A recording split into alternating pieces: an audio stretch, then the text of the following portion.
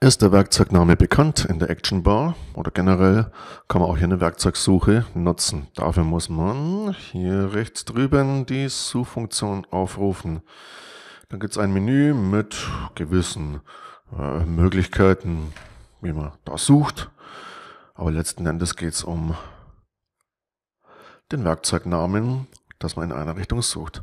Mein Lieblingswerkzeug, wenn ich sowas demonstriere, ist der gute alte Rollladenkasten. Roll. Schauen wir mal, was er da findet.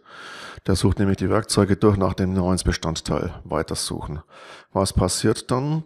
Je nach bisschen Glück und von wo man halt gerade loslegt, findet er das Ding gleich. Hier blättert also die Werkzeugleiste auf und zeigt uns auch den Rollladenkasten hier unten. Wenn man mal ein bisschen weiter sucht, kann es natürlich auch passieren, dass er andere Werkzeuge mit dem Namensbestandteil findet, wie die Kollisionskontrolle. Hinten steht da auch Roll irgendwie im Wort drinnen weitersuchen. Und der blättert halt dann das durch und blättert halt dann durch die jeweiligen ganzen Aufgabenstellungen durch, wo man das Ding findet. Und wenn man jetzt leider so wie ich ungünstig daneben klickt, naja, dann hat man halt das Werkzeug aktiviert. Ich gehe nochmal auf den äh, Rohbau zurück, gehe hier nochmal rein, suche nochmal nach Roll.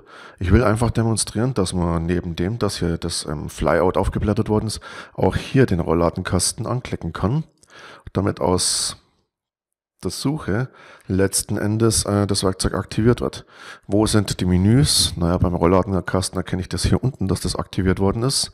In der Dialogzeile steht es drin. Und jetzt fragt er gerade, auf welche Öffnung er den Rollladenkasten einbauen soll. Wenn ich den einen bauen wollen würde, aber an dieser Stelle breche ich es ab. Es war ja nur eine kleine Demonstration, wie die Suche eben funktioniert.